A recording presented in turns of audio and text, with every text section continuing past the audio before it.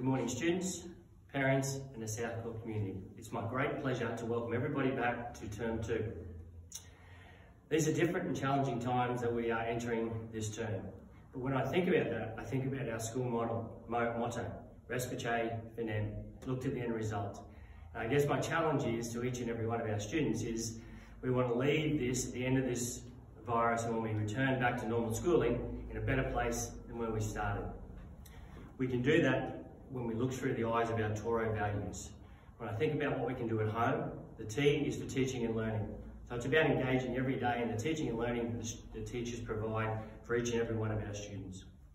It's about ourselves, looking after ourselves, getting enough sleep, eating well, getting enough exercise, making sure that we look after our own mental health. It's about respectful relationships. We're dealing in a different time where we're communicating online through lots of different apps and different programs, making sure that we are always treating people with respect and we're looking after people.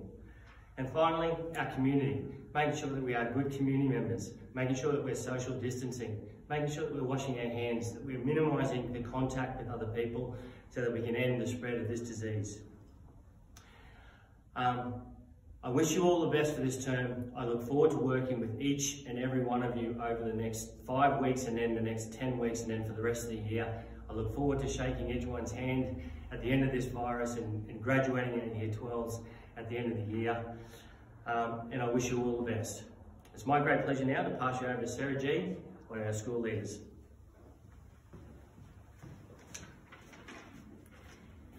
Good morning teachers, members of our community, parents and most importantly our students. We hope that you are all safe and well. We recognise that the last month has brought drastic change to our everyday life and we hope that each of you are continuing to do your bit to maintain health and safety through taking the proper precautions. Washing our hands for 20 seconds, staying 1.5 metres apart from one another, and staying home unless essential. We also hope that through the change we experience, you take the time to invest in the positive opportunities that arise. The opportunity to rest, recharge, and renew. To revisit old hobbies or take up new ones. To strengthen your physical and mental health and well-being. We also implore you to keep social to catch up with your family, call old friends, and connect in new and different ways. During this time, we are all encouraged to reach out to our older and more vulnerable community members. Right now, they are doing it particularly tough, and we should be there to support them through this challenging time. Although you may not be able to visit your grandparents, older friends, and family members, you can still contact them. Call and keep in touch to make sure they know they aren't alone and are still an incredibly valued and wonderful part of our community. It gives me great pleasure to continue this on with Jordan Angle, our other school captain.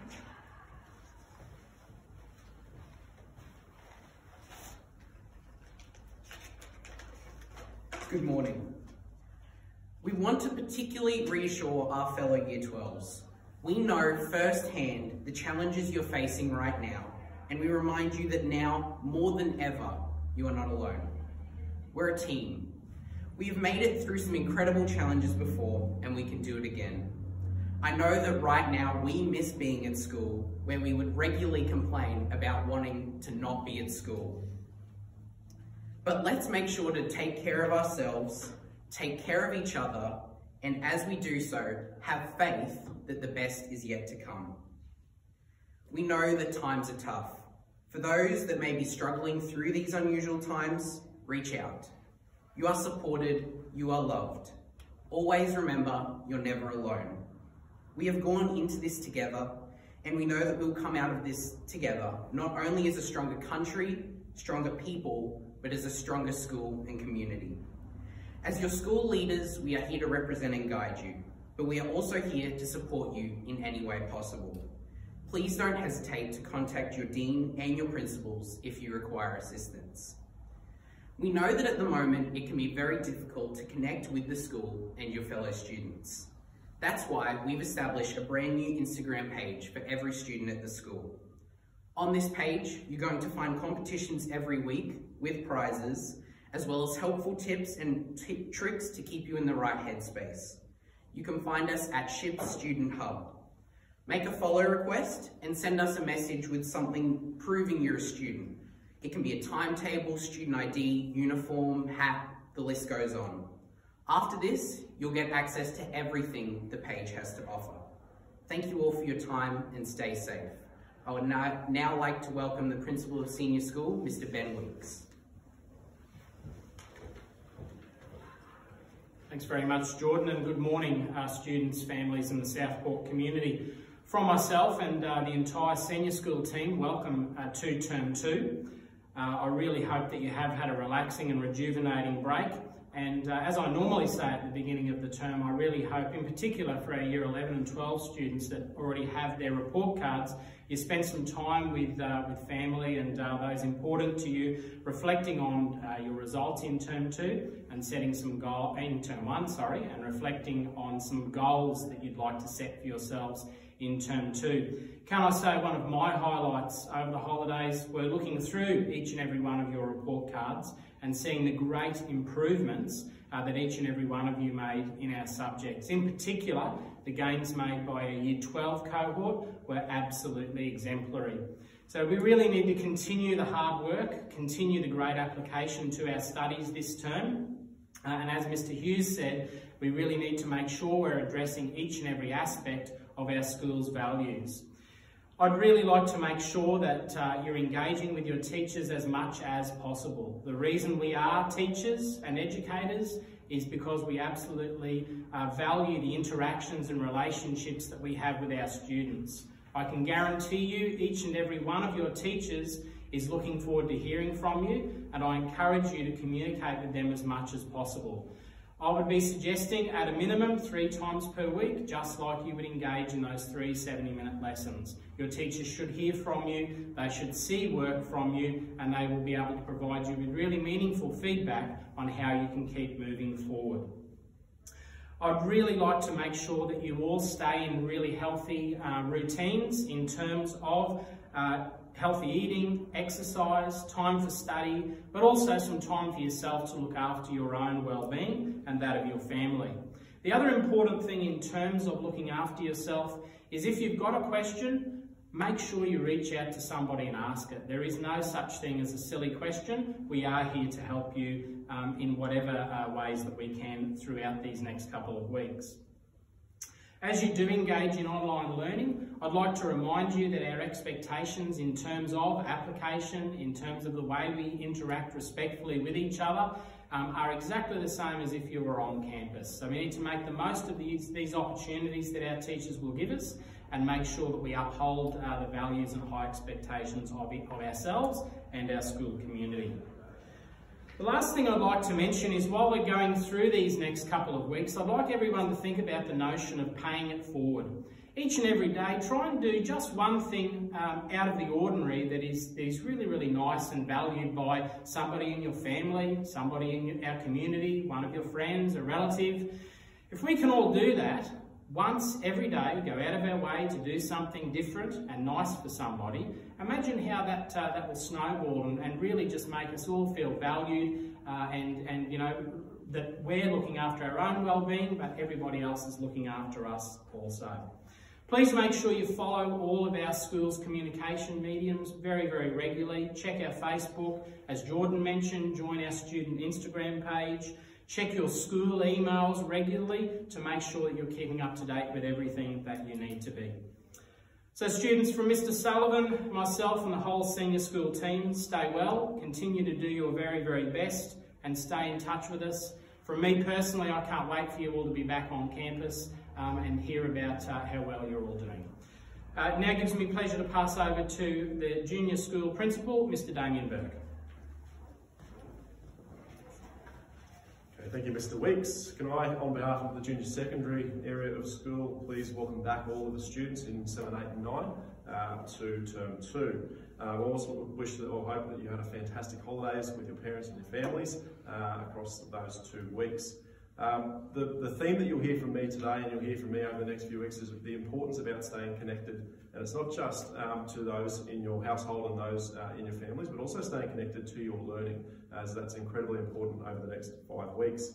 For the junior secondary students, it's important that you start to establish those routines routines that you may not have ever had before uh, because you are not used to some of the, what some of the senior students are uh, when they are sent home on exam blocks and so on. So there's the expectation that you are going to need to independently set up what your learning days are going to look like.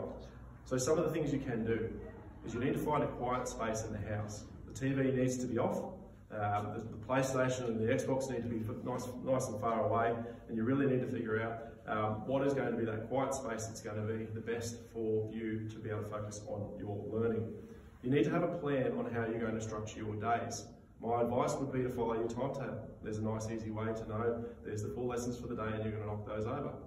Some students may prefer to uh, knock over the majority of your three lessons for English um, on the Monday, and you may want to work it that way. You might want to prioritise classes.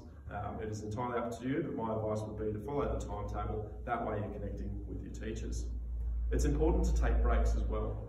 Uh, particularly if you are looking at trying to do some of those subjects across the whole day, it can be incredibly hard to, to maintain that attention span across that time, um, and those breaks are. So if you find that your mind's starting to wander a little bit, go get up, stand up, go to the fridge, grab a little snack, um, and come back after that. And, and we, I believe that will be uh, work really well for you. I want you also to think about how you're connecting with your teachers across the course of the week. Um, we want you to make sure that you are connecting with your teachers, and my advice on that, as Mr Weeks had said before, is that we'd like you to do that at least three times a week. So that's for a number of different questions. It can be um, if you are struggling with any sort of work, if you've finished the work and there's, and there's um, you know, sort of more questions that you had about something that you can engage in as well, uh, or if there's just some general questions that you have of your teachers, um, you can do that as well. That shows that you're engaging uh, in the work there. So at least three times a week. If you do have any questions, uh, please email those through. We have a number of people in junior secondary that support all of the students, um, starting from your dean. Uh, we've got our guidance officer, Mrs. Heath, uh, Mrs. Bartlett, and our DP, and obviously myself. Uh, but please email any of those people as well if there are any questions. As Mr. Weeks said before, no question is a silly one. Um, can I also ask that you are checking your emails regularly, and regularly means at the start of every day.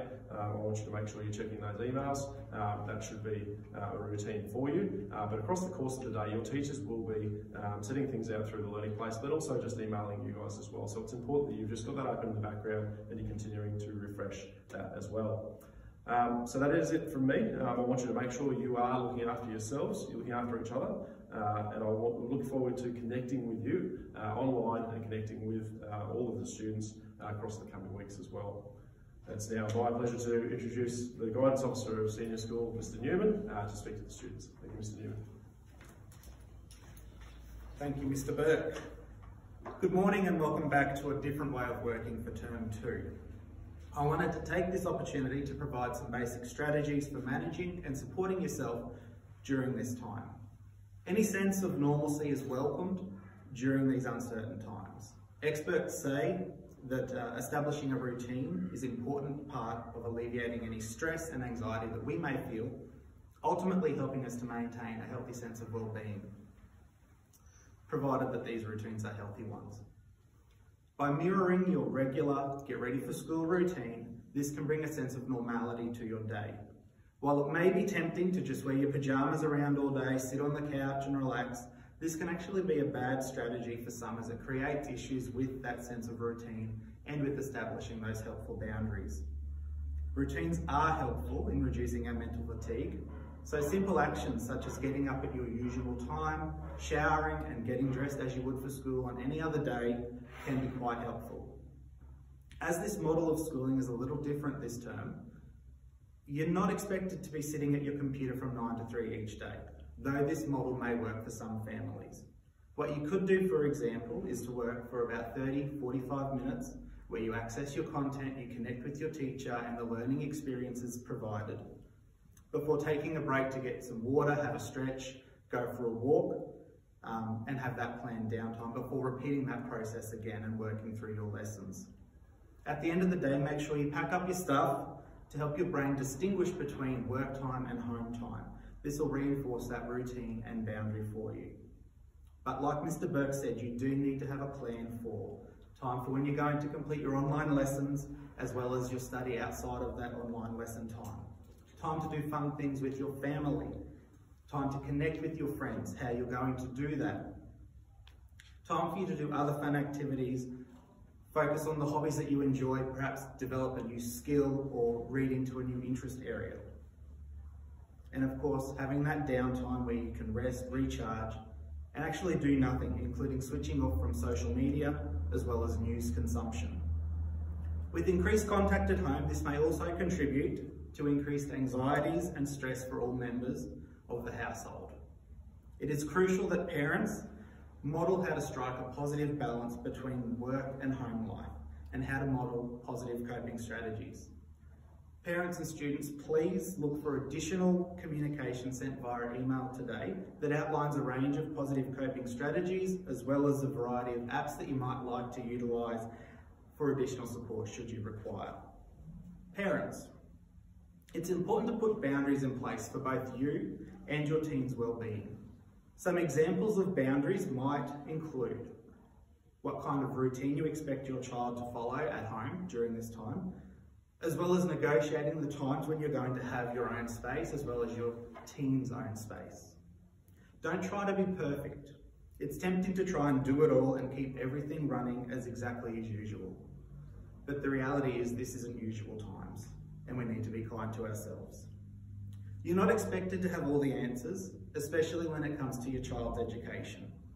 Your child's teachers are the experts. What you can do is encourage your child to reach out to their teacher or reach out to the appropriate person for support if needed. In closing, the first thing is to accept that this is the new normal, at least for now. When worry strikes, try not to speculate about it, take a deep breath, go for a walk, distract yourself. Set a schedule for rising, for your meals and for your bedtime. Our resilience thrives with proper nutrition and rest, so fuel your body accordingly. Get dressed as though you're meeting people outside. Take pride in your appearance. Fill the day with projects and end it with rituals such as reading, catching up with friends over video or text. Ensure that you're building time for exercise. Consider what anchors and relaxes you, whether it's meditation, music, yoga, gardening.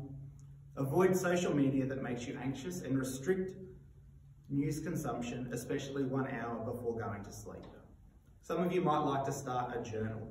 Psychologists say that the one thing that's most associated with emotional resilience is that social connection and support. Just because we need to physically be distant at the moment to make sure that we are safe and happy and healthy doesn't mean that we can't still connect socially and reach out to those people that are around us. A phone call or a video chat while on a walk, a virtual lunch date in the garden can be a quick way to stay connected and foster your own sense of well-being during these times. Please look after one another and I look forward to seeing you back at school shortly.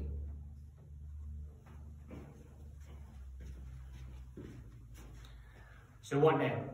Check your emails at nine o'clock. You should have an email from the Dean of your year level. You'll then receive over to the, the, day an email from each one of your teachers with uh, links to the learning place and all the information that you need to get started with your study. Again, I encourage you to set up a routine in your house. I thank you for trusting Southport State High with your education and I wish you all the best. Thank you.